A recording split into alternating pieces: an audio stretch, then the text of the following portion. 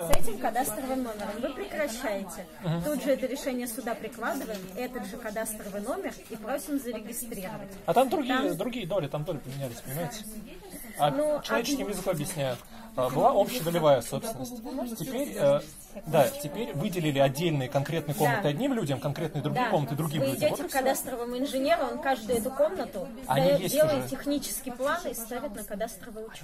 есть. Ну дайте мне тогда кадастровый номер этой комнаты. А там они стоят через литеры, определены в решении суда. Да Нам уже так регистрировали. И тогда вы уже Вам скажете, прям вот когда... И вы к кадастровому инженеру не обращались. Не обращались, да. Просто переделили комнаты, вот и все. Просто, просто смотрите, прекратили они право общей долевой собственности на этот объект. А я сейчас прошу зарегистрировать право на этот же объект общей долевой собственности. Да.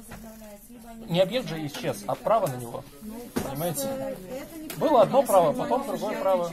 Я уже сходила и к руководству спросила, как мне. Сказали, ну не, не поставят так.